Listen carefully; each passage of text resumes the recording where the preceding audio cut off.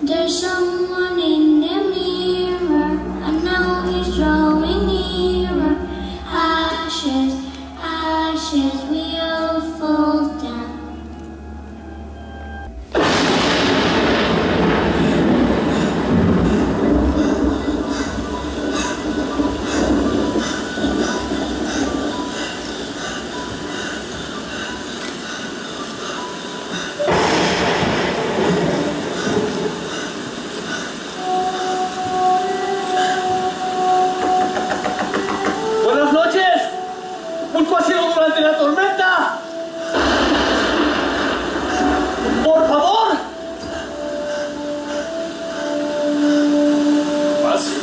Gracias.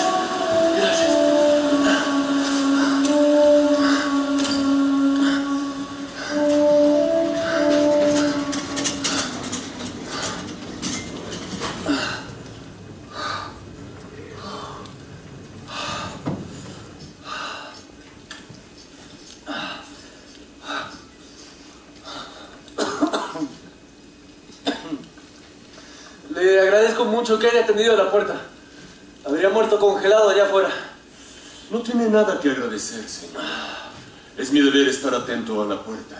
Ah, muchas gracias. Mi nombre es Luis. Luis Shell. Mucho gusto, señor Shelley. Eh, ¿Podría usar su teléfono, por favor? Me temo que la tormenta ha estropeado la línea. Tendrá que esperar a que pase la tormenta.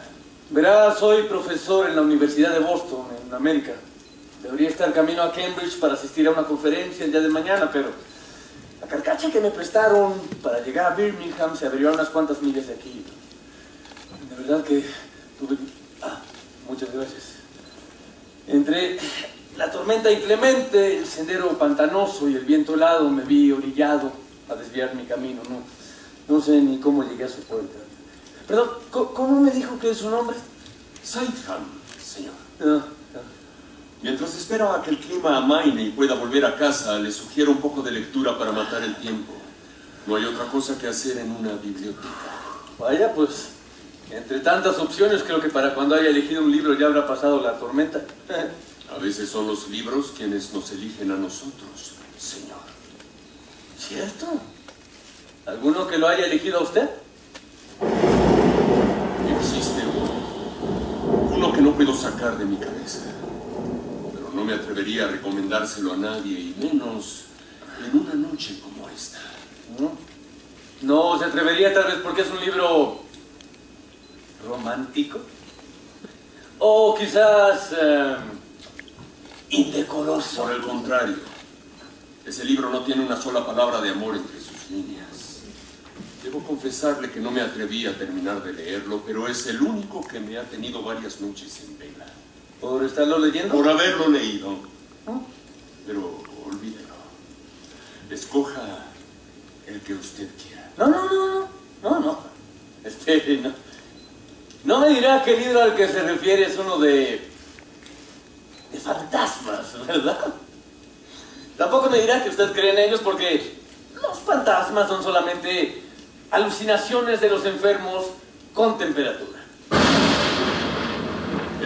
Que eso, señor Shelley. No es una obra de ficción paranormal. Es un recuento verídico del puño y letra de su protagonista.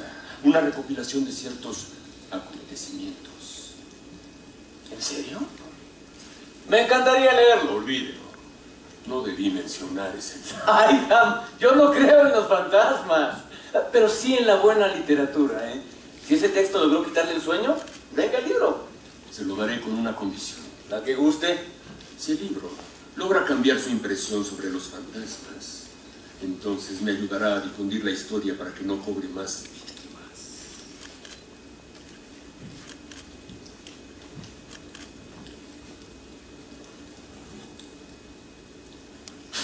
Oh. Aquí tiene, señor. Si necesita algo, voy a estar en el sótano haciendo el inventario. Sí, sí, pierda cuidado, Setham. En cuanto termine el libro y pase la tormenta, me marcharé. Otro día volveré por mi trofeo, ¿eh? El fantasma en el espejo. Memorias de James Monmouth, edición póstuma. Epílogo del reverendo Archibald Potable. James Monmouth. Saiham, ¿cuándo es que...? Saiham. Fantasmas, por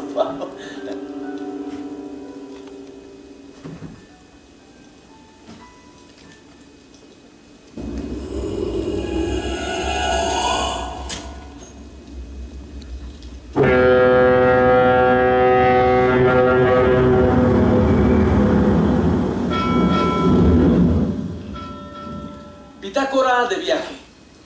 Días antes de la Navidad de 1908, arribé al puerto después de dos semanas en el barco. Aquí habría de iniciar mi búsqueda en esta inhóspita ciudad de atardeceres grises y un frío que calaba los huesos. Bienvenido a Londres, la capital del mal clima. Llueve mucho aquí. Es la primera vez que visito Inglaterra. Es nuestra maldición. Dios ensañó con la ciudad. eh, James Monmouth. John Phillips, marinero mercante. Pero dígame, ¿de verdad es su primera vez aquí en la tierra de su majestad? Digo, porque trae usted un pasaporte inglés. Habla inglés y parece inglés. Algo me dice que podría ser inglés. Eh, Bien, esto le parecerá extraño, pero realmente no lo sé. Nací aquí, solo que no sé dónde. Sea lo que se refiere. Imagínese, yo tengo tres hijos y no conozco a ninguno. Un amor en cada puerto, ¿me entiende? Entonces, sus padres eran ingleses. Mis padres murieron cuando yo tenía cuatro años. Mis familiares entonces me mandaron al África. Me apena escuchar eso. No tengo ningún recuerdo de ellos. Ninguno. Todas mis memorias comienzan en África con el hombre que era mi guardián, de quien solo me queda este viejo baúl como recuerdo. Vaya, un guardián. Eso quiere decir que usted proviene de una familia adinerada. No lo sé. Bueno, él siempre sostuvo que era amigo de la familia de mi madre y que por eso cuidaba de mí.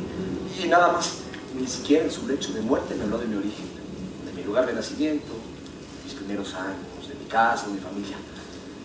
Eso más que extraño me parece una crueldad. Y por eso decidió viajar. ¿Qué otra cosa podría ser? Todos necesitamos conocer nuestro origen. ¿No cree? Eh, Pues yo desde niño escuchaba una voz dentro de mí que me llamaba a conocer el mundo. Devoraba libros con relatos de exploradores y comencé a seguirles los pasos. Sin darme cuenta haber hecho una vida de nómada, llena de aventura, de exploración. Uno en particular, uno realmente excepcional capturó mi atención. Conrad Bain. Ah, Conrad Bay. ¿Lo conoce? No. Me obsesioné con recorrer cada uno de los destinos que él había visitado. He llegado a sentir una conexión muy especial con él, como si pudiera ser algún familiar. ¿Usted se apellida Bay? ¿No? Monmouth. Ah, es cierto, Monmouth. Pues quizá algún familiar lejano por parte de madre. Esa es mi sospecha. Por eso decidí venir a Inglaterra, para saber más sobre él. ¿Sabe? Pienso escribir un libro sobre su vida, sus viajes, disculpe, quizá lo aburre mi plática. Ah, no, no, no, para nada. Como marinero se conoce cada historia. Conozco la de un tipo que decidió viajar hasta el otro lado del mundo para casarse con una gorila. Eso sí fue extraño. Cancelé la boda y decidí no volver a beber. Era cariñosa, pero muy peluda. ¿Dónde piensa quedarse?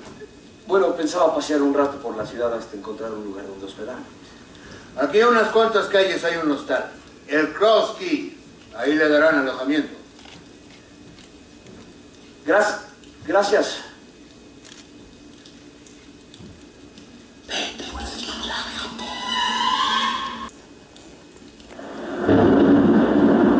Quise regresar al hostal con mí mismo. A la distancia, sobre el mar, las pesadas nubes anunciaban una fuerte lluvia. Estaba perdido. Había deambulado por toda la ciudad sin rumbo fijo y ahora estaba a millas del puerto y del hostal. Ese niño me había estado siguiendo. De eso estaba seguro. Pensé que si había sido capaz de seguirme, tal vez conocería el camino de regreso al hostal.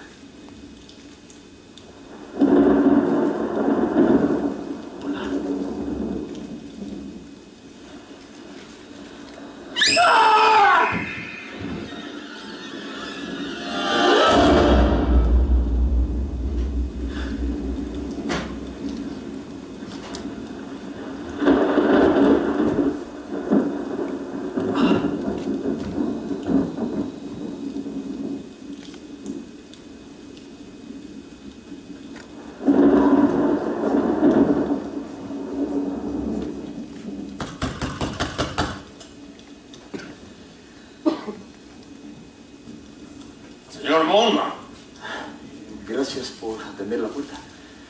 Yo estaba perdido. Perdido, ya lo creo. Lleva tres días fuera. Tres días. Pero si apenas fui a la librería y regresé.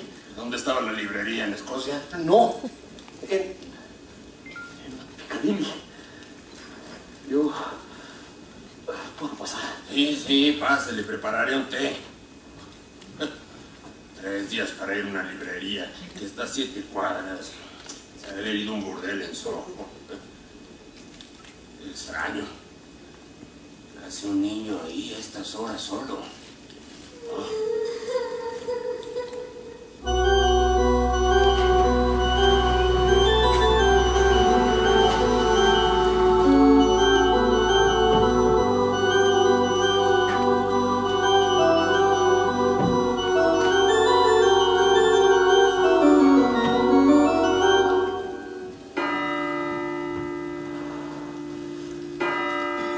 Gracias.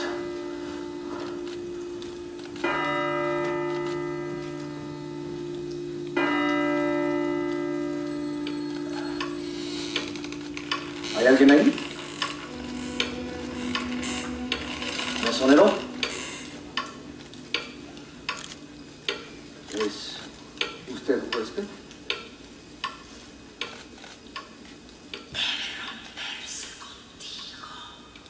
¿Perdón?